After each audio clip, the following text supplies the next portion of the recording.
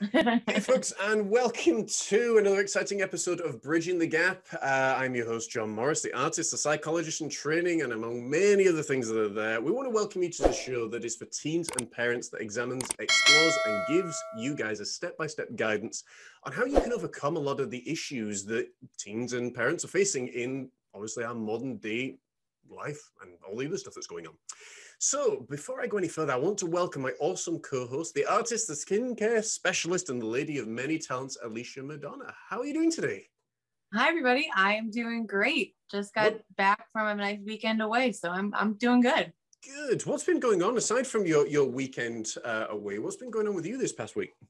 Oh my gosh, everything. Um, I've been trying to figure out a new schedule, starting a new job, doing a whole bunch of freelance work. So I've been here, there, and everywhere.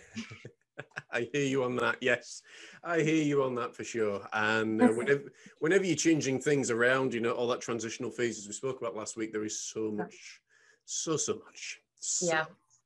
I feel like I am starting to go more into the, you know, unplug, replug phase of it all. Thank Good. goodness.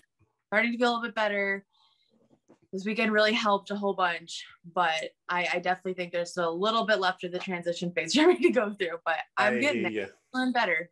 Well, that's good. And that, yeah, I absolutely hear. We're going to be talking about that later on, folks, about uh, the importance of taking time out, and uh, it, it is vital. But I want to share with you guys uh, almost like a brand new segment to this show, maybe maybe for this show specifically or this episode specifically, um, called the news section, because Alicia and I have talked a little bit off air about some of the political things that are going on, some of the things that are going on in schools and stuff. And there was one that really caught my attention this past week. And um, it's basically the best way I can label it is a minister, uh, as in a, a reverend, a, a, priest, whatever you want to call him, has been unfairly dismissed for speaking out against uh, LGBT ideologies and basically giving well, his sermon basically said, you know, just because somebody says it doesn't mean you have to agree with it. Now, the reason that I'm bringing this up, Alicia, have you heard about this? I have not. No. Okay, well, well, buckle your seatbelt because this is it's it's literally uh, it's the reason I'm bringing this up, guys, is because it is an, in an insight to where our governments are going, our school system is going. So much is going. Okay, so and and just before you know before we get started because i know i'm going to get some you know rap if i don't say this the first thing is i personally am not against the lgbt movement. The second thing is on this show we deal with facts and not rumors. So everything here has been reported by uh, media has been reported by papers and has obviously the verification uh, to back it up so uh, this past week, a matter rearose that originated in 2018, and it was a reverend, the Reverend Bernard, da, da, da, the, yeah, Bernard Randall, there we go, uh, who was chaplain at Trent College in Nottingham, and he, did, he delivered a sermon. And in his sermon, he told the pupils, you do not have to accept the ideas and ideologies of the LGBT activists, because certainly over here, and I don't know what it's like for you guys in the States, but certainly over here, a lot of the teenagers, either that my wife works with or that I speak to or that we work with and whatever we do, you know, they seem to feel that the LGBT stuff is like the new religion that's been taught in the schools. And it's a case of if you don't accept it, there is something severely wrong with you. Is it, what, what's it like in the States? Do you know? Um, it's it's kind of like that too. You know, there's this um idea that yeah, if you're not accepting it, then you're basically a bad person and you're shunned away, which I have thoughts and feelings on the whole thing, but I, I'm definitely on the side of if we can't agree, mm-hmm. then just agree to disagree. You know, there there shouldn't be a conflict if you can't agree. Yeah. You know, just be okay with it. So, yeah. but it's definitely the same climate over here, I think. Okay, that's interesting. And I, and I was saying to Alicia off, uh, I think next week because we've been talking about this. I think we're going to do the show about the LGBT um, teaching in schools. Um, personally, I feel it should not be taught in schools. I feel especially primary schools. And again, I've done a ton of research already that's there prior to this show, um, because the psychologist at Yale University, believe it or not, where I've been studying their online platform, has done extensive research into why people are attracted to each other. Uh, which is a topic for another time. But I want you you guys to know, like I said, that we present the the facts, not just you know uh, hearsay kind of stuff. Um, but to get back to the point, you know, the the mission statement of this um, college in, in Trent College was to educate boys and girls according to the Protestant and evangelical principles of the Church of England. Now, the the sermon was delivered, believe it or not, in 2018 after the school began working with the charity Educate and Celebrate, uh, which provides LGBTI plus inclusion um, training in schools offering to embed gender, gender identity, sexual orientation, and the fabric of the organization. And Dr. Randall apparently said that he was excluded from any discussions about the implementation of the charity's program after raising concerns about it. So he's already, you know, in, in you know uh, in June 2018, he's already been told, you know, well, you may have opposing views, but this is the direction we're going in. You can't, you know, uh, uh, you know, speak out against it. Um, but the story goes on because after the sermon was reported, uh, he was actually reported to the police under the prevent program. Now, I need to look into that a little bit more just to see, obviously, all the details and things. No action was taken against him. The headmaster then began causing trouble, and then he was actually given a con- or, or, a list of conditions which which his future sermons um, had to meet and was told you will not publicly express or personal beliefs in ways that exploit our pupils' vulnerability. To which I've got the, the feeling of, I don't know about your feeling about this, Alicia. You can tell I'm already getting fired up about this because you know people are saying, well, which side am I on? I'm on the side of right. Okay, because I if, if free speech is there and we're meant to have free speech, then to say, you know, you don't have to accept this um, and then to be deemed, he actually ends up getting deemed as a terrorist. We'll, we'll talk about that in a moment. Um, but it, it, it's, to me, it's ludicrous because over here in the UK, you look around the school system now, there are very few teachers over a certain age. Most teachers are like 20s or 30s that have been bred in a certain way, taught in a certain way, think in a certain way. What do you think about this happening? Uh, you know, that you're not allowed to express your personal beliefs, but yet teachers seem to be able to, as long as it coincides with, you know, the LGBT ideologies that the school and the government seem to want to influence with. So I don't know how much here in the States um, primary school teachers are kind of inundated with that and talking about it because I know I know that at least for for New York State yeah. where I am, um, our education guidelines are insane. They're okay. through the roofs. I mean, we have I have tons of friends that went through an education program and they are they have like strict guidelines of what right. they can and cannot do. So I don't really know how much of that is happening here. Um, I definitely am on the side of free speech, mm-hmm. you know, state your opinion.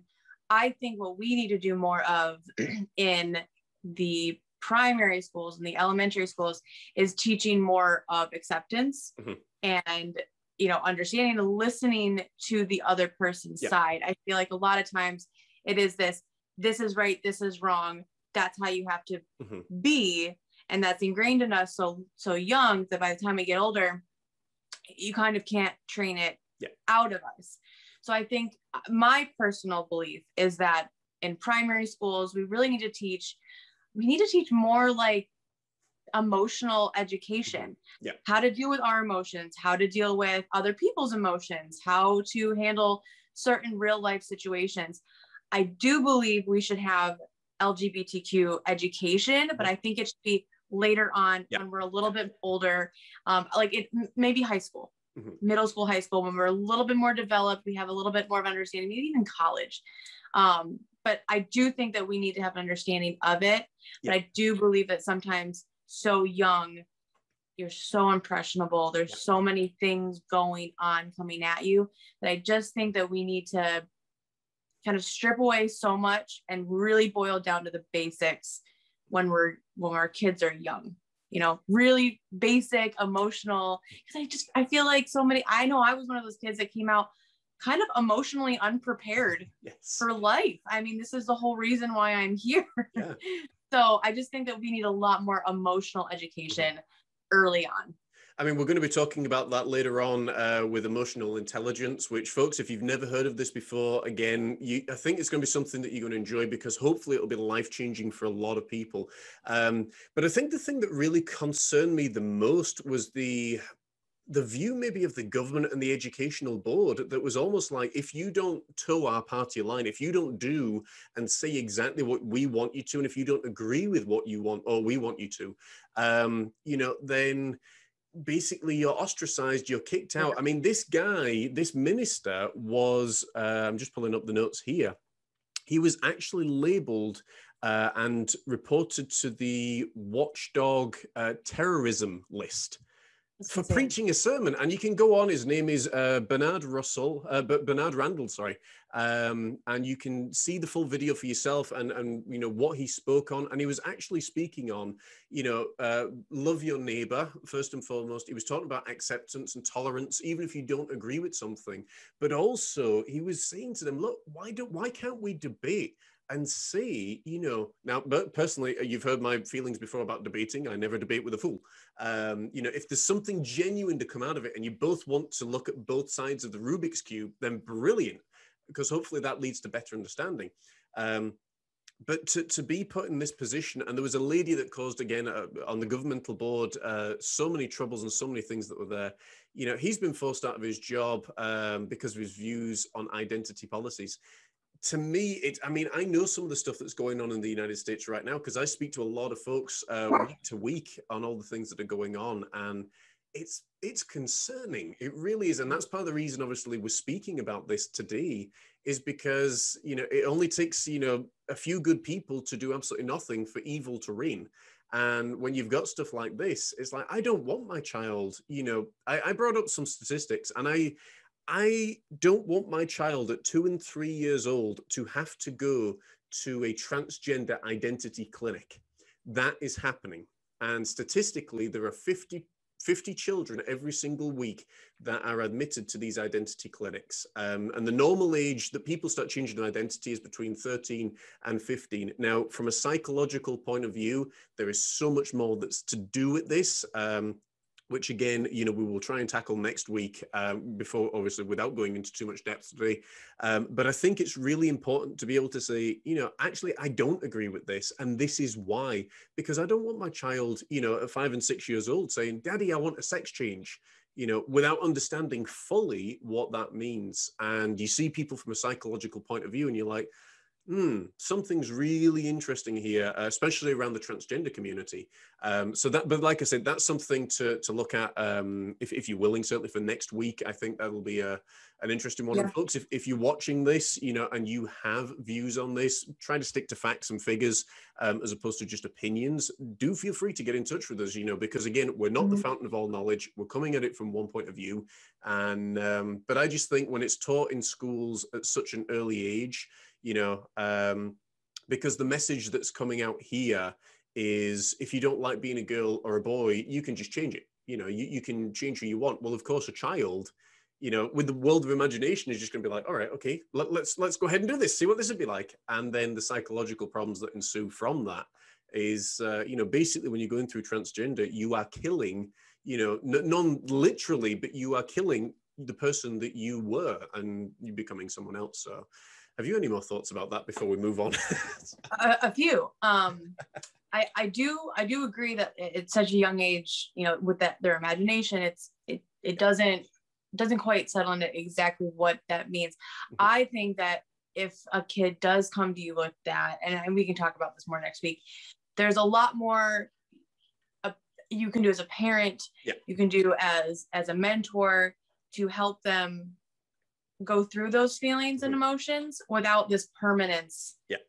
attached. You know, I mean, I feel like every girl goes through a tomboy phase. I mean, I went through a tomboy phase. So it's like, and and whether or not that sticks and stays or gets, you know, bigger or whatever, it's you have to just let your kid kind of go through these cycles. And I really think that that then plugs right back into emotional intelligence, yeah. emotional support, education of like how do you deal with that that feeling and what does it mean? And you know how do you go on from there? Um See, that's really interesting alicia. Sorry to cut you off there. It's really no, interesting because over here the phrase tomboy is now um exiled. It is not allowed really? in normal yeah it's not allowed in normal conversation within the school system because you know a tomboy nowadays means that the girl wants to become a boy and it's like this, this is literally what is is going on and this is what's being taught. And the amount of operations that are taking place to change gender at such an early age is insane. And Hmm. you know that there was one of the the documents that i read that said we can't figure out why there's been such a spike since i think it was maybe 2013 2014 um, with the amount of girls that are wanting uh, the gender change operation which is excruciatingly painful. And again we'll talk Mhm. about that next week because you know you, you don't choose this lightly that's for sure. Um, but when you look at it and you say okay is there a correlation between that and what's being taught in schools? And believe it or not they ming, you know, they meet up. And it's like well that's probably why because more and more people are being exposed to all of these different things um, but like i said there's a lot that goes into that as well so Yeah. for sure there's yeah there's definitely a lot and i and i think the last thing i'll say about it is um it almost it almost feels like there is this culture of like almost like if you're not Yeah. lgbtq you're not cool Yeah. there's almost almost that feeling i don't want to throw that out there i know it's a very loaded statement. I, I think well But that, I that feel like there is a is a feeling little over here as well. Yeah. Yeah.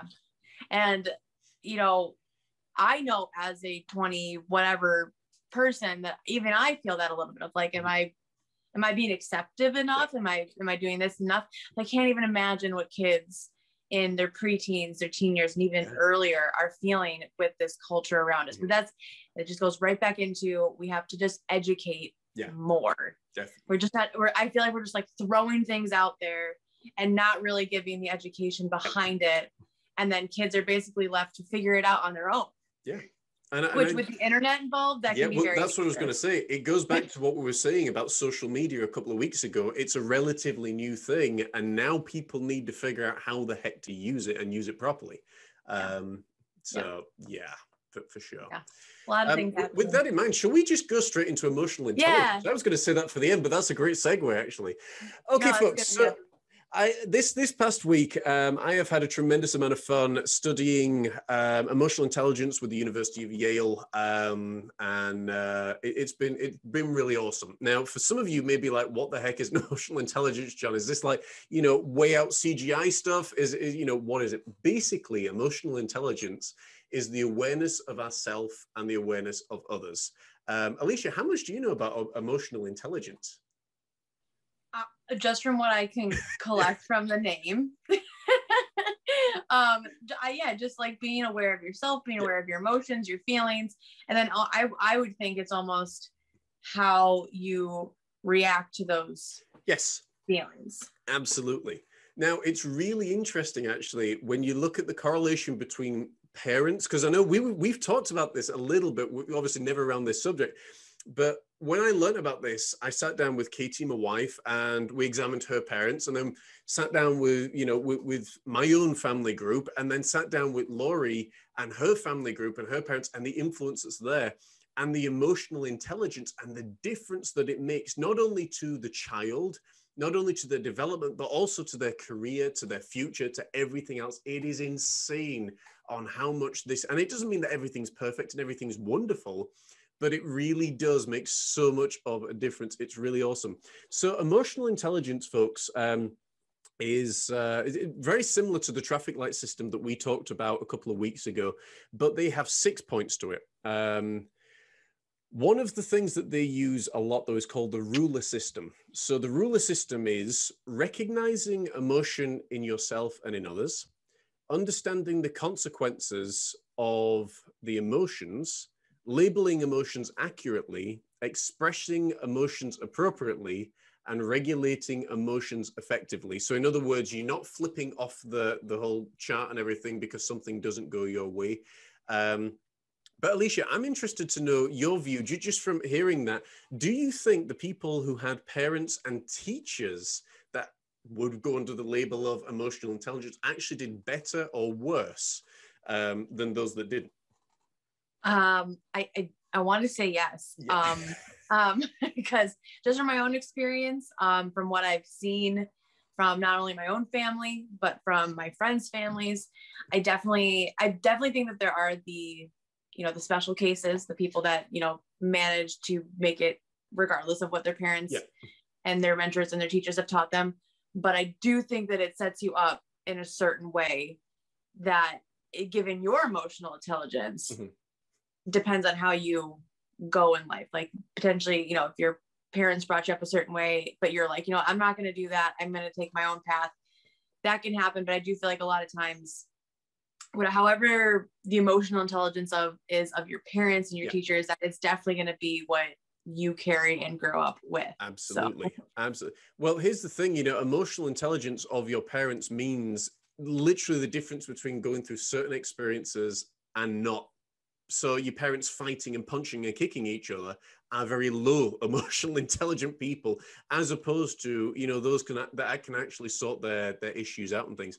But you know, it really is just incredible um, when you look at people's social intelligence and the difference that it makes them. Because I, I know certain schools around here, and I know of other schools that are more private school where the intelligence is higher, and the effects that it makes on the teenagers is these are just a few. They're less likely to have severe anxiety problems.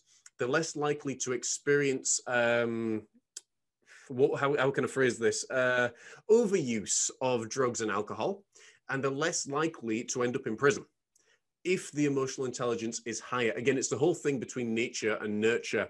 Um, Mhm. And the way that it works, exactly like Alicia was saying, exactly like we've talked before, is self evaluation. You know, how do you feel? But you also will know how the other people uh, feel as well. In doing this, you're recognizing and labeling um, what causes you and the other person's feelings. You show an understanding.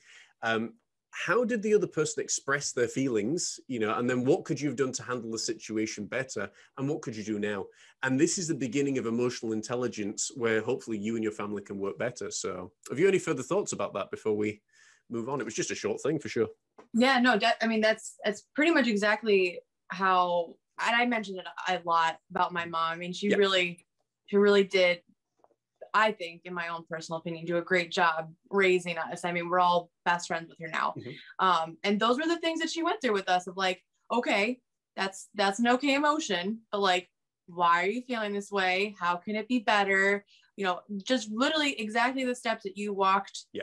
through is what my mom went through with me. And I really feel like that has, I almost feel like I'm at the point where I'm like an empath where I Mhm. can, Yeah. where I, I, if somebody else is feeling a certain way in a room, I'm going to feel that too. And it's almost to my detriment sometimes because I'm like, your vibes are just too much for me right now. But I'm aware. I'm aware Yeah. of what other people are feeling. I'm aware of like vibes that people are giving off. Um, and yeah, it's just that emotional intelligence, being aware of of other people as well as yourselves. And that's really awesome you know and you can see the difference that that's had on you. For me a lot of, of what i went through i had to figure out by myself. Um you know and again there's certain times where i was like oh i'm just feeling this way and behaving this way because to me it was normal. Although to the rest of the world it's like no that's not normal. You know so you I have feel to figure like- that stuff out.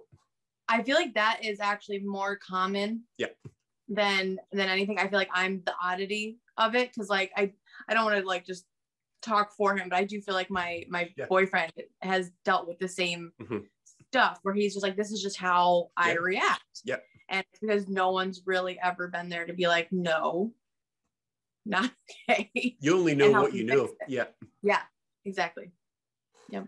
And it is i mean it, it's it, it's crazy now because katie and i was talking about this a little bit after um i'd finished with with yale uh yesterday or whenever it was saturday um and and that was one of the things we said you know the expectation on the child now is that you're going to grow up normal you're going to grow up fine or normal um whatever that looks like now um, but you're going to have emotional intelligence when your parents are either away working or you're just left in front of the TV or whatever it might be. And that happens more and more. The family dynamic really isn't there as much as it was 10, 15, 20 years ago. It has all changed for sure. Um, I have big feelings I'm interested. Go for it. um so i okay i definitely feel like me and my my younger sister who's five years younger than me i feel like we from what i've seen are like the last generation to go through this like quintessential what i think of quintessential childhood that like i had our parents had our grandparents had of like you know hanging out with people and going outside and exploring and learning through doing And I just, you know, if you drive through a neighborhood now, you just don't see kids. Like you do see kids out, which thank goodness, but like yeah. it's just not the same. There's this technology barrier. I mean, the technology barrier was there when I was a kid. And my mom was very good about making cut end times of certain things. And the way that technology is now, and I see this in my cousins who are all under the age of 8 mm-hmm. um, they each have their own iPad. Yeah. Like I I don't know if anybody remembers a leapfrog. Oh yeah. remember the thing where yeah. you had the pen and the cartridge yeah. and you touch things? Yeah. That was like our iPad back in the day. But it was educational. And I just I don't know how I feel about kids having their own technology devices. And I mean, because I mean, parents are already like this, mm-hmm. ignoring kids. Now the kids are sitting there doing this. And then that's where you lose the family dynamic. That's where like together time is on your phone or iPad time. And it's like where where do we cut the phones off, hang out with each other, enjoy each other's presence cuz like I I catch myself at times like in family functions, I don't want to touch my phone. I don't want to be distracted by it. I want to put it away and I'm glad that I at least have that kind of like yeah understanding and knowledge to, to do that because family time is important. I just feel like there's this lack of appreciation, caring, you know, respect for for the family dynamic and family time. So that's my rant. I, I, and I completely agree with that. We're, we're very much the same on that principle. Um, because th- there are times I find honestly when I've got too much screen time, it just drains my energy. Um, yeah. So these days, actually, I get on I do my posting on social media. I do any business that I need to do, and then I, I, switch off. There's maybe about three or four days of the week that I just do not switch on, apart from to check yeah. notifications, and that's it. Because yeah. you know, I, I mean, I love where we live now. We can go for a walk. We're in the forest. You know, we've got lakes and ponds around us. Um, there's swans actually nesting and everything, and that's a really exciting time. But again, you know, it's great around here. So many kids are going out to play, but it's concerning actually statistically when you've got children 11, 12, 13 years old that are spending between 12 and 16 hours a day on a form of electronic device. And it ain't good for you, you know. Yeah. And, and, and COVID is not no, helping. No. And there's a whole other concern about development. Yeah with young kids in school right now, which Definitely. that's a whole other topic. yeah, and, and, it is. I mean, but but it's the whole thing as well of how kids are learning, how kids are developing, and uh, I think that's. I think in the next ten years, at least, if if not sooner, we are going to see a lot of different dynamic changes on the educational. Uh, system for sure. So I completely agree, and actually, that's something that we could probably talk about because I yeah. do have some thoughts about the education system. Oh yes. Hmm. Oh, that I do. um, but I think too. I, I mean, is there anything yeah. else you wanted to add? Because I kind of have a segue. So, kind of tying into this emotional intelligence and this technology, and kind of taking and transitioning into this taking time. Um, one thing that you mentioned about screen time draining you, I challenge people to pay attention next time that you're on your phone for a long period of time and then go hang out with a group of friends your family turn the phone off don't touch it and then just be aware of how you feel after yep. each of them because i know for me when i after i'm done hanging out with my family or even friends i have this like dopamine rush where you're just like you're great you're feeling awesome it's like the, your life is so perfect and awesome and great and then it's not that same feeling yeah. When you get done on your phone. So I, I challenge people to do that. And but that just segues really nicely into taking time for yourself. and that is something I did this weekend. Um, John, I hope that you are able to do it soon, or if you haven't. I, I have been doing. I uh, I had a, a brief uh, health thing that went on, and whenever I have a health thing that goes on, I'm like, phone goes off unless I need to speak to people, and you know, I just stop. These days it's great. I can just stop and don't worry. Yeah, that's actually something that not a lot of people do. If, if and I, you know what, I will say, maybe women when they get sick, they're like, we're just powering through. Let's just keep going. I used to do that. I was writing about that this morning. I used to do that. I used to power through. It's an old school mentality that yeah. you go to the doctor unless your arm's falling off or unless yeah. you're decapitated, you know, and you keep powering through. And I did that to the point that I blacked out last year. Uh, again, oh my God. Yeah. Oh, that's um, yeah. And uh, where I tore my midsection, and I was just like, yeah, my butt needs to hit that sofa and it ain't moving for the next 48 hours. And that's what I did. And uh, Yeah. it, it does so good to have such a recharge because when you're giving so much of yourself out, you must take time for yourself. So it's really Yeah. important. I so I know that I've understood this about myself. I feel like not everybody's like this, but I look at my energy level obviously as like a battery, literal battery. And yeah, when you're giving yourself out, and even when you're just out working or being with people, your battery is going to drain. And it is so important to give yourself recharge time.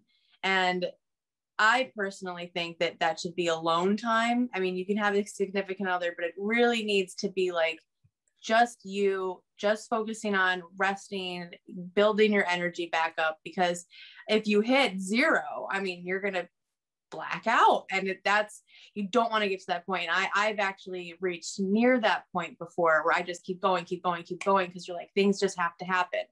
But things aren't going to happen if you hit zero and you end up blacking out or other health issues happen or whatever it is it's so important to give yourself time and i feel like i don't know how it is over there but i know here in the states there's this go go go go go mentality of like don't stop keep keep hustling keep working hard.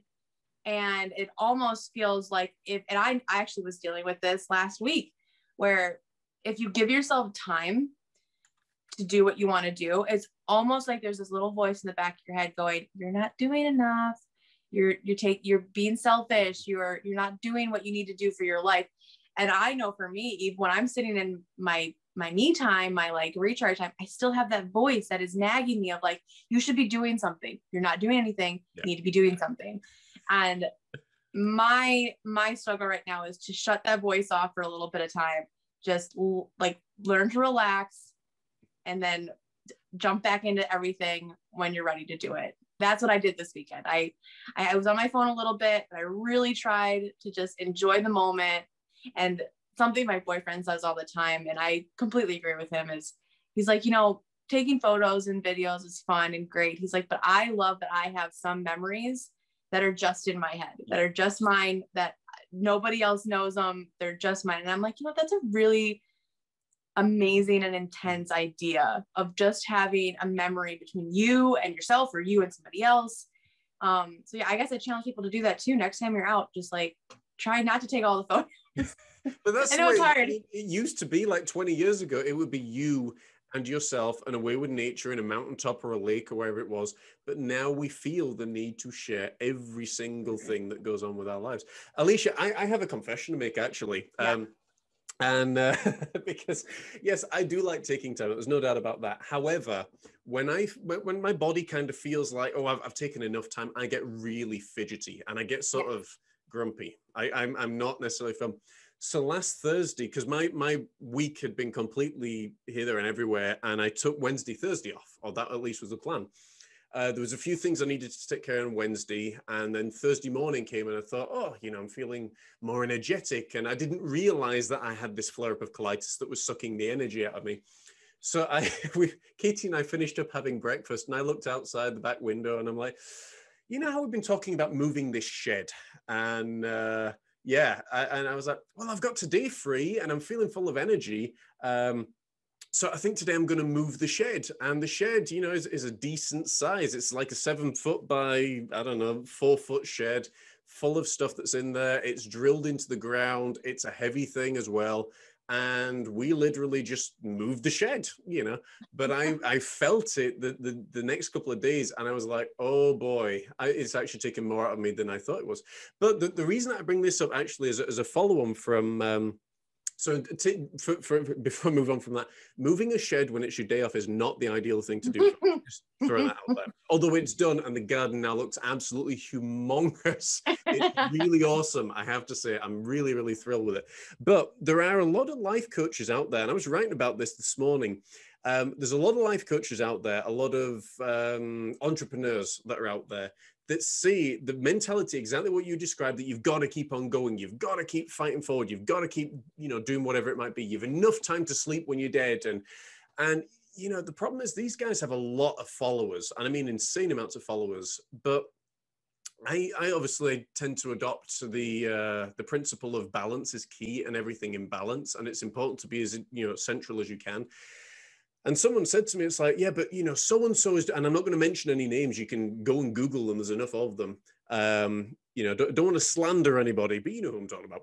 Um, but the fact they say, you know, but so and so's doing so well, and I'm like, they look like they've been on methadone or crack cocaine for 10 years because their skin is so pale because they have only slept sometimes for 20 minutes a night.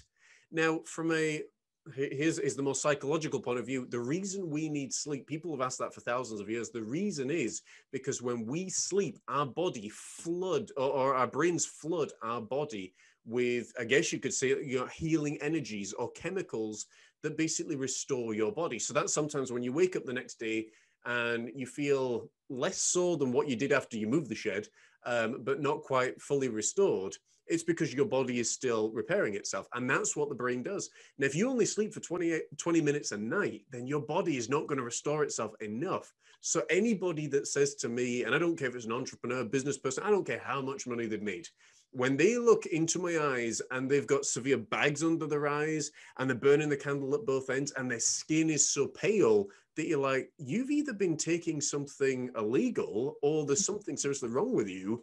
Um, and I'm meant to take advice from you. You know, I've yeah. got my own criteria of people that are, are what I look for, but you know, it is it is so important of taking time out, as you found. Because I, I mean, how do you feel now compared to where you were, you know, last week? So it's funny that you mentioned like moving your shed on your day off, um, because physically I feel exhausted because we were walking everywhere. Emotionally, mentally, I feel great. I feel rested, recharged. So it's just the it's that balance of like physical and, and mental rest. Um, yeah. But yeah, no, I definitely feel mentally better than last week, but physically I'm a little rough. My legs are hurting a little. In, in my defense, I didn't realize the job with the shed was going to be as big as it took. it still only took four hours to do. It, it took half an hour to empty everything out and then three hours to take the screws out of the, the ground where it had been drilled in and then to put everything away and to do all that kind of stuff. And then I just oh, sat there. I was just, I was filthy. Um, and Katie had to go and teach afterwards, and she'd helped. And I'm like, oh my goodness, yeah, it was an experience. Um, but it's done. yeah, hey, got something done. I mean, for me, I know that like if I get something that I need to get done, done, it's for me, it's that checkbox of yeah. like, mm, it's done. Don't gotta worry about it.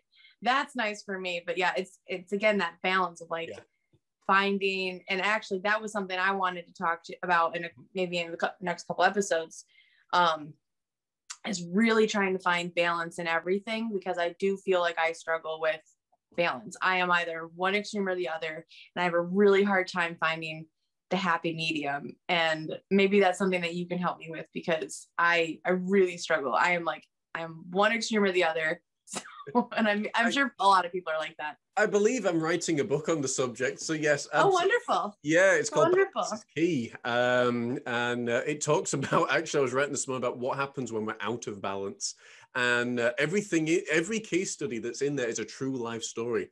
And some of these case studies, you would literally think this had to be like a soap opera or made up or whatnot. No, these actually happened. These are 100% real. Um, and uh, as I've said before, you know, people when they get out of balance or their needs aren't being met are literally capable of some of the most insane behaviors on the face of the planet. It is insane. I'm sure. Just some I can't wait to read this. This yeah, is uh, got my interest piqued. It's going to be good fun um, for sure, and some of the behaviors that people go through.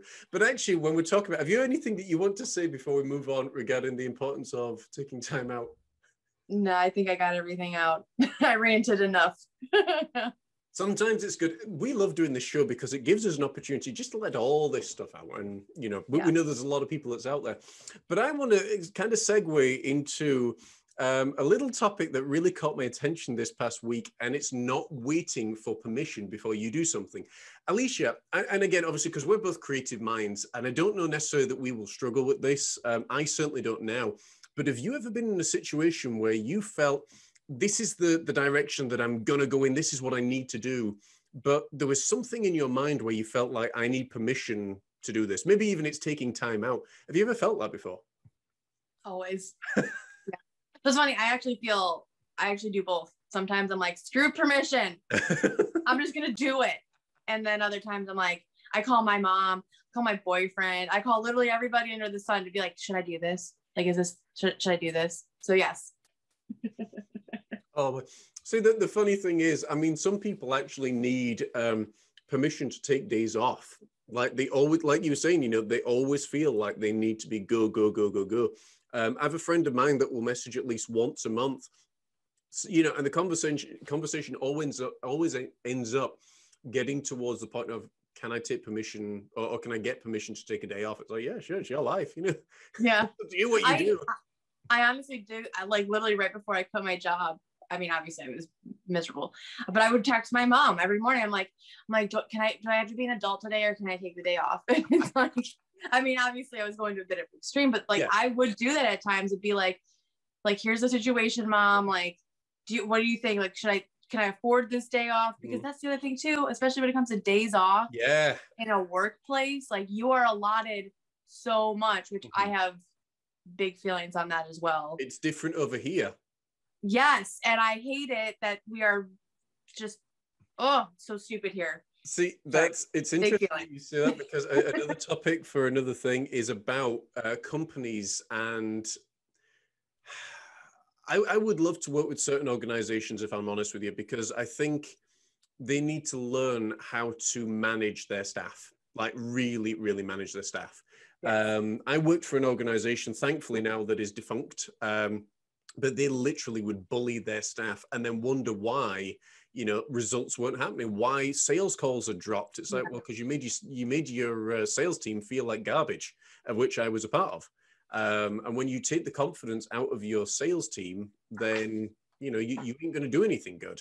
Um, but the reason that I bring that topic up is because a lot of people do feel that they need to have permission before they do anything. And, you know, we're, we're always, you know, when you need to have um, affirmation from other people that it's okay to do something, you're going to be waiting a very, very long time. You know you, you're going to be stuck. You need to decide for yourself and, and we're talking about the general audience of course i'm not just pointing at alicia here who's going in this but you know we need to decide for ourselves that hey this is the course of action i want to take this is what i want to do rather than sitting there saying well is it all right for me to do this? Is it not? I used to go through that when i was going through um, further education. Is it okay for me to start studying at 30 odd years old? Well of course it is. I made the decision. You know it, it's my body my choice kind of thing. Um, mm. and I think it's really important for, for folks just just to think about a little bit more that you have the all the abilities you ever will need, and you need to be able to take the decision to say, look, I give myself permission to have a day off. I give myself permission if I want to move that shed. You know, I give myself permission if I just want to chill and, and do whatever I need to do. And again, it's the whole thing in balance. It all works together. When we're out of balance, it really affects our energies. When we're in balance, things, believe it or not, just flow in a much more natural, uh, a natural way. So it was just a, a, small thing, folks. As I say, you know, sometimes when you're waiting for, mission, for permission from other people, you'll be waiting for a long time.